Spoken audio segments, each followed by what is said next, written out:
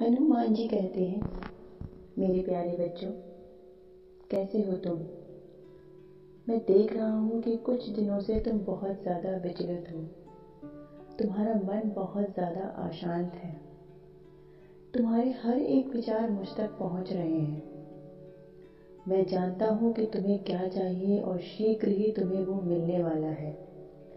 किंतु मेरे बच्चे, तुम्हें तब तक धैर्य रखना होगा।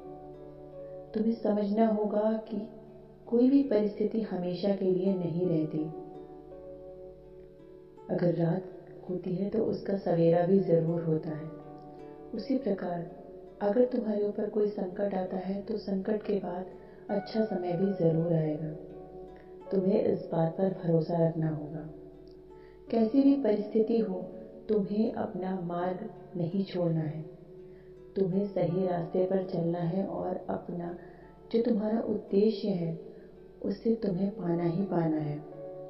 मेरे बच्चे, मैं तुम्हें बताना चाहता हूँ कि तुम्हारे जीवन में आने वाली हर एक सफलता, असफलता, खुशी या गम जो भी है, वो सब तुम्हारे अपने विचारों का ही परिणाम होती है।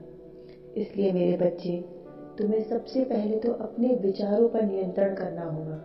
तुम्हें अपने विचारों को सकारात्मक बनाना होगा।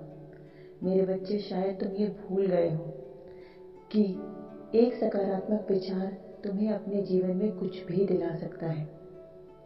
तुम्हारे जीवन में अब तक जो कुछ भी है, वो तुमने खुद पाया है, अपनी मेहनत से पाया है। तुम्हें इस बात पर भरोसा करना होगा कि तुम जो भी पाना चाहते हो, वो तुम सब कुछ पा सकते हो। बस तुम्हें अपने विचारों पर नियंत्रण करना होगा। मैं आज तुम्हें यही एक छोटी सी सीख देने आया था मेरे बच्चे।